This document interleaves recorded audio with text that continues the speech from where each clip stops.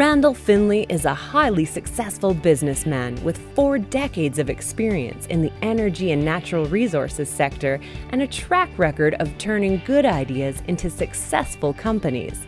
His corporate background, strategic approach, and generosity have been of great benefit to UBC as well as the community at large. Of particular note are his support for UBC Okanagan's School of Engineering, his service on UBC campaign cabinets, and his directorship of the Alberta Children's Hospital Foundation.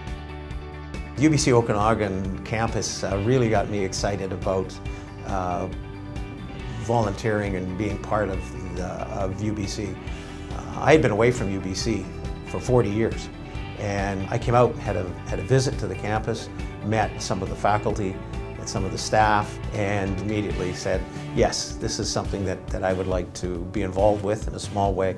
The pure joys of, of, uh, of volunteering, of course, is um, that you know, you think you're, you're giving, and, and you are. You're giving of your time and maybe of your money, but the, the adage is you're really getting back more than what you're giving.